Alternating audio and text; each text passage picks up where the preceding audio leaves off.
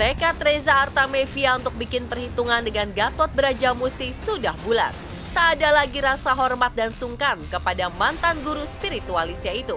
Belakangan laporan Reza diduga dalam upaya menyelamatkan diri. Sebab dalam keterangannya kepada polisi saat di BAP Senin kemarin, janda almarhum Aji Masaid sebut merasa tertipu oleh Gatot terkait zat bernama aspat. Versi Reza, selama bertahun-tahun ia tak mengetahui jika aspat itu sesungguhnya psikotropika jenis sabu.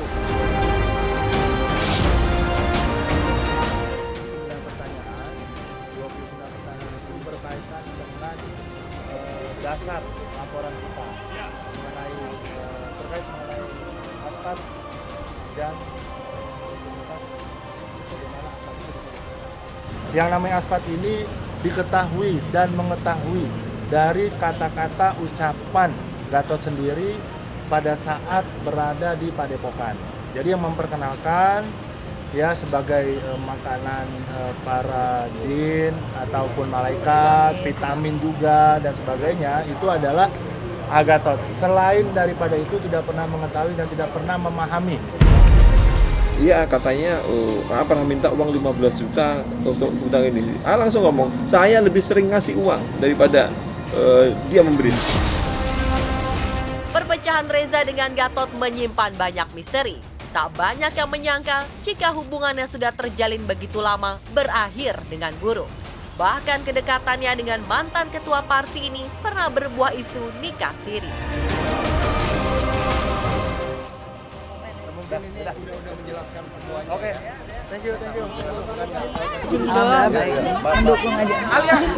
Pak Reza, Reza gimana nih di, di, di, ini nama amanah aja mendukung Pak Reza. Ya alhamdulillah senang itu.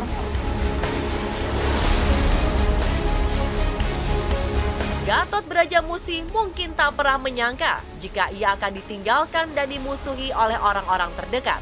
Kini ia seperti menghadapi masalah seorang diri. Kuasa hukumnya juga mesti nyalir, ada kekuatan yang bermain untuk menimpakan kesalahan kepada Gatot seorang. Untuk itulah Gatot sampai harus meminta perlindungan dan memohon kepada Presiden Joko Widodo agar kasus ini diusut tuntas sampai ke akar-akarnya. Kita ngirim surat ke presiden karena kita merasa bahwa dalam beberapa hal perkara Gatot ini ada berbagai kejanggalan. Ada diskriminasi hukum, ada equality before the law-nya ini tidak dilakukan dengan secara baik. Mestinya kalau kita berkomitmen menegakkan hukum ya harus semuanya rata. Hanya khawatir bahwa ada kasus yang ditutupi, ada kasus yang sesungguhnya. Ini kayak misalkan orang yang seolah-olah melang, melang, mengaku sebagai korban, olah seorang seolah menjadi korban penipuan dan sebagainya. Ini kan merupakan bohong-bohongan.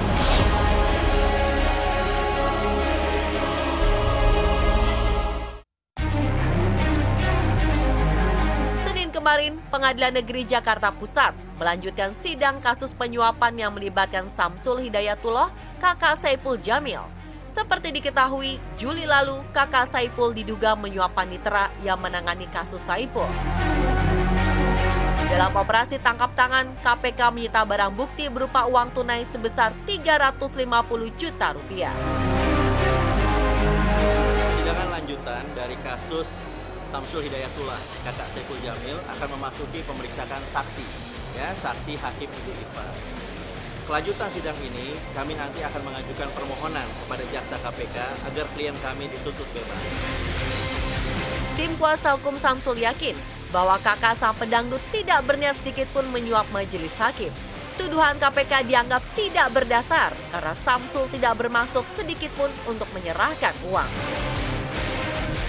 Pengambilan uang itu bukan semata-mata untuk melakukan yang dituduhkan oleh pihak KPK adalah suap, tetapi tidak. Ibu Iva sudah menjelaskan apa dasar pertimbangan dalam putusannya dan bagaimana proses sidang itu dijalankan. Apa dasar putusannya? Apakah ada orang mempengaruhi dalam isi putusan? Apakah ada orang mengantarkan uang ke beliau atau atau ataukah ada baik pihak dari eh, Bang Bang Samsul atau pihak keluarganya menghampiri beliau? Tidak ada. Bahkan Ibu Iva pun nggak kenal sama yang namanya Bang Samsul. Kalau keadaannya seperti apa di dalam itu beda lah. Tapi kalau sehat-sehat. Bukti bahwa mereka tidak menyuap adalah hukuman yang diterima Saiful Jamil sesuai dengan dakwaan jasa penuntut umum. Tapi alhamdulillah itu banyak bukti-bukti kan. Semoga jadi pembelajaran. Semoga ini jadi bukti bahwasanya ya memang murni. Poni Saiful Jamil itu murni. Nggak ada suap-suapan. Cuma saya dibodohin aja.